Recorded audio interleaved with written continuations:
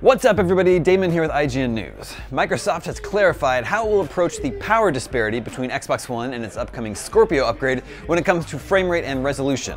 As noted by GameSpot, Xbox corporate vice president Mike Ybarra sparked conversation by tweeting, developers are free to choose how they use the power of Project Scorpio for games. We have no requirements limiting frame rate or fidelity. This led to a question regarding parity of frame rates between the same game playing on Xbox One and Scorpio, particularly in multiplayer where differing frame rates can make a definable alteration in quality of play. Ybarra made clear that, if they wanted, developers could allow for different frame rates between consoles even in multiplayer.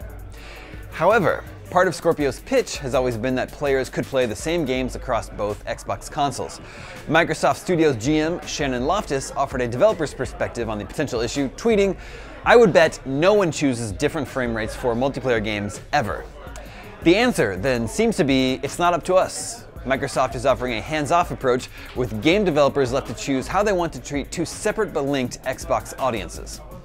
Scorpio will be fully unveiled at E3 next month. And speaking of frame rates, check out our story on Destiny 2's frame rate problem on Sony's PS4 Pro.